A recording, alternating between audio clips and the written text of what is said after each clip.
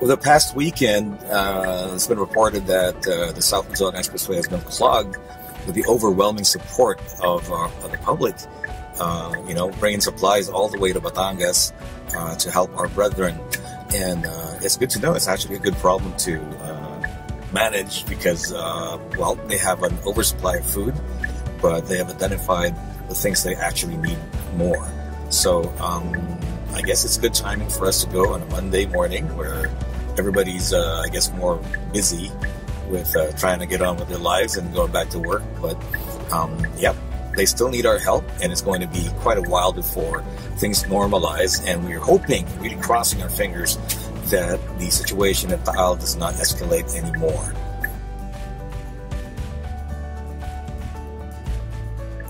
Okay, so uh, that turned out to be a very smooth drive at the uh, South Luzon Expressway.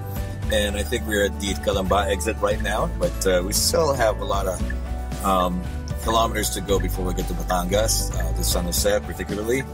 And, uh, well, this happens to be a really noble cause. And, uh, you know, I'm really lauding uh, Ayala Motors for doing this. we are a convoy of 30 vehicles, but we're going to come back with just 20 vehicles because 10 of the vehicles will be left behind in the different towns of Batangas need the vehicles. Uh, Kia via Ayala Motors would be donating 10 units of the Kia K2500 or the Kia Carga. Uh, it's a people mover. It's a flexible cargo mover as well. It's uh, uh a 19-seater uh, powered by a, a 2.5 liter inline four common rail direct injection diesel engine, and um, uh, it, it has the capacity to carry 19 people and, or a combination of people and a lot of cargo. Very ideal and appropriate for what we're going to be doing right now. And I'm sure different towns of Batangas are going to be taking advantage and making good use of these Kia vehicles that would be um, donated by Ayala Motors. Nagpapasalamat ako uh, sa grupo nila Manning sa AC Motors, lalo-lalo na sa kasamahan nila sa media. Kasi para lang sabihin sa inyo, sila ang nag-isip na imbis na ibang uh, adhikain yung gagawin nila, gawin ito na ibahagi dito sa Batangas. Hindi na dalawang isip yung mga kasamahan natin doon na talagang ibahagi ang ito. Uh, isa pang gusto kong uh, banggitin, dito sa relief operations, ito yung panimula. Mahaba pa ang tatahakin natin kasi alam naman natin yan na merong recovery and rehabilitation.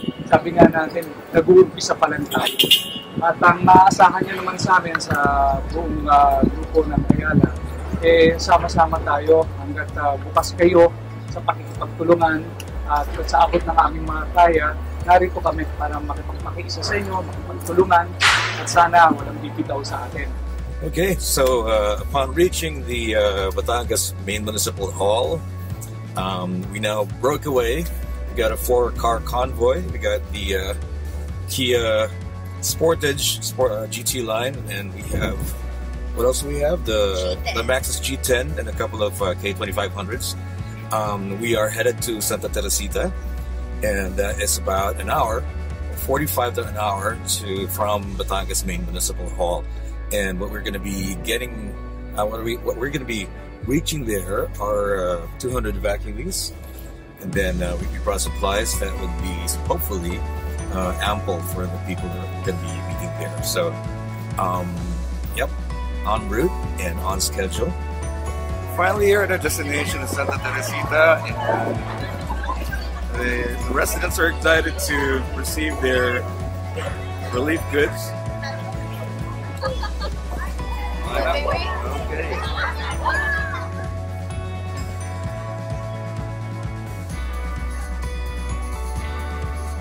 The efforts and donations of Ayala Motors, with the help of some motoring journalists and their dealers' teams on this relief mission, serve as a shining example of the true Filipino bayanihan spirit.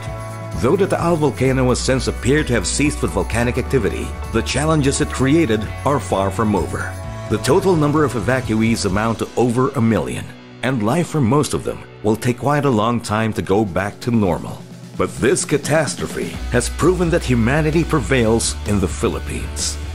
Kapit lang mga kabayan at may mga nakahandang makipagkapit bisig sa inyo. This has been Artie for Inquirer Mobility. Hanggang sa muli.